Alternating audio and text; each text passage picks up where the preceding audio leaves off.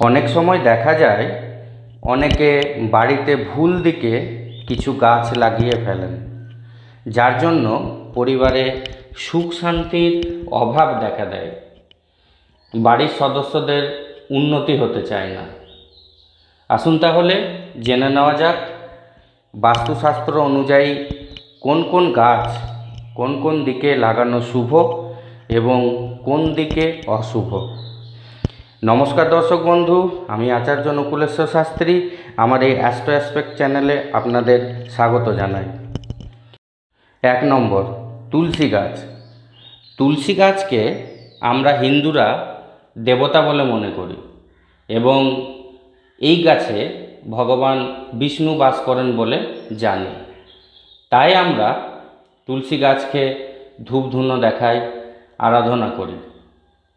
বাস্তুমতে তুলসী গাছ লাগানোর সব থেকে ভালো দিক বা জায়গা হলো উত্তর পূর্ব দিক, অর্থাৎ ঈশান কোণ। তাই দর্শক বন্ধু, এই তুলসী গাছ সব সময় উত্তর পূর্ব দিকে লাগালে আপনি দেবতার আশীর্বাদ লাভ করবেন। পরিবারে সুখ শান্তি বজায় থাকবে। দু নম্বর, মানি প্লান্ট। অর্থের সঙ্গে সম্পর্কযুক্ত এই মানি প্লান্ট বৃদ্ধি পাওয়ার সঙ্গে সঙ্গে শুরু হয় বাড়িতে অর্থের আগমন, বাড়ির সদস্যদের উন্নতি এবং পরিবারে সুখ শান্তি।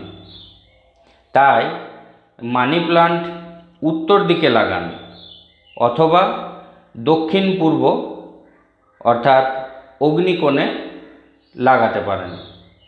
তবে ভুল করেও এই মানি প্লান্ট একেবারে দক্ষিণ দিকে লাগাবেন না। এই দক্ষিণ দিকে মানি প্লান্ট লাগালে পরিবারে আর্থিক অনটন দেখা দেয়। তিন নম্বর, কলা গাছ। কলা গাছ বাড়িতে ঈশান কোণে, অর্থাৎ উত্তর পূর্ব দিকে লাগান। এই দিকে কলা গাছ লাগানো সব থেকে শুভ, কারণ বিষ্ণুদেবের প্রিয় এই কলা গাছের প্রভাবে আপনার বাস্তুদোষ কেটে যায়।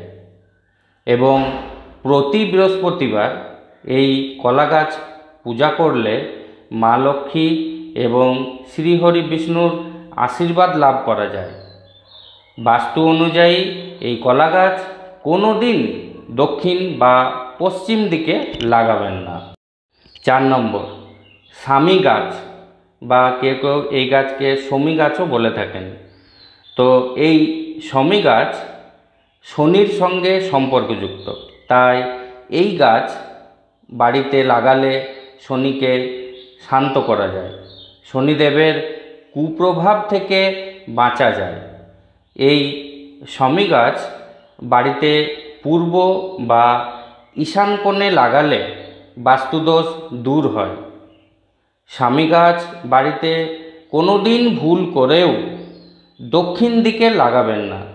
এতে চরম বাস্তুদোষ সৃষ্টি হয়। বাড়িতে অশান্তি বাড়িয়ে দেয় এবং পরিবারের সদস্যের সদস্যদের মধ্যে দীর্ঘস্থায়ী রোগ দেখা দেয়।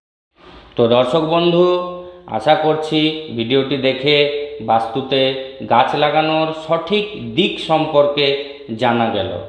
ঈশ্বরের আশীর্বাদ সবসময় আপনার সঙ্গে থাকুক। এই প্রার্থনা করে আজকের ভিডিও এখানেই শেষ করছি। নমস্কার। ভালো থাকবেন।